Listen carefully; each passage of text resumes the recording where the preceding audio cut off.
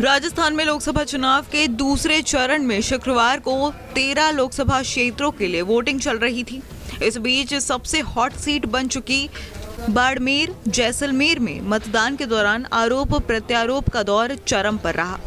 कांग्रेस नेता हरीश चौधरी, कांग्रेस उम्मीदवार बेनीवाल और निर्दलीय रविंद्र सिंह भाटी ने सोशल मीडिया नेटवर्किंग साइट पर पोस्ट कर चुनाव में धांधली के आरोप लगाए।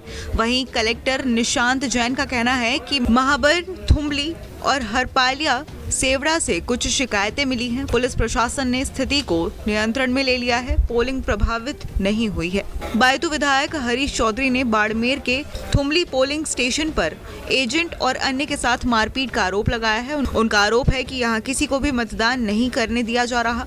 पुलिस के संरक्षण के अंदर वोटिंग करवाई जा रही है। पोलिंग एजेंट को मारपीट कर भगाया जा रहा है। वहीं कांग्रेस उम्मीदवार उम्मीदा राम बेनीवाल ने भी मतदान के दौरान सोशल नेटवर्किंग साइट पर पोस्ट कर गंभीर आरोप लगाए हैं। उन्होंने लिखा है कि निर्वाचन आयोग की आचार संहिता की खुलेआम धज्जियाँ उड़ाई जा रही हैं। मतदान केंद्र पर अंदर वोटिंग हो रही है और मतदान केंद्र का मुख्य द्वार निर्दलीय प्रत्याशी के बैनर से सजाया हुआ है। शिव जैसलमेर और सिवाना में बाहरी लोगों ने कई जगह बूथ कैप्चर कर लिए हैं और फर्जी वोटिंग की जा रही है। कांग्रेस पोलिंग एजेंट्स को मारपीट कर धमकाया जा रहा है।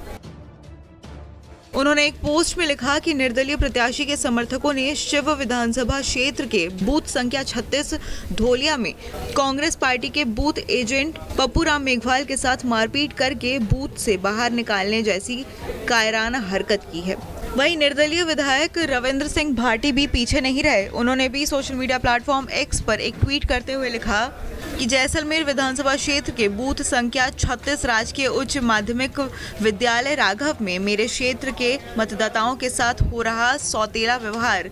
निराशाजनक है, प्रशासन से मेरा अनुरोध है कि कृपया इस मामले में संज्ञान लेकर उचित कार्रवाई करें।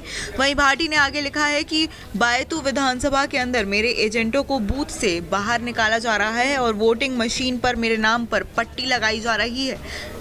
ये कैसा लोकतंत्र है? आखिर प्रशासन किसके दबाव में काम कर रहा है? और क्या चल रहा है बाड़मेर में? नमस्कार, मैं हूँ मानक गुप्ता। अगर आपको हमारा ये वीडियो पसंद आया हो तो इसे लाइक और शेयर ज़रूर करें। और हाँ हमें सब्सक्राइब और फॉलो करना ना भूलें, ताकि आप देश और दुनिया की कोई खबर मिस ना करें। तो जुड़े रहिए हमारे साथ और देखते रहिए न्यूज़ 24